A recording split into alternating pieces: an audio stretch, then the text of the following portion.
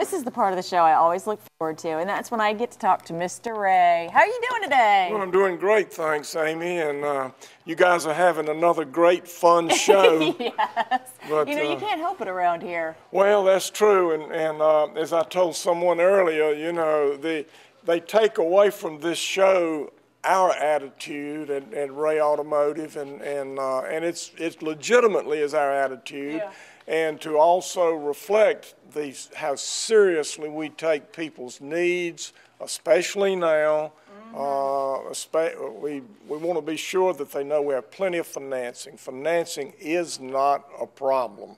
I can assure you. Caring is what, what we're about. We translate it into, into helping customers get into vehicles that make, make good sense for them, that are, as you said, they're smart vehicles and smart buys. And, and, uh, and the rest of it is that after the sale, we make sure you don't have any surprises.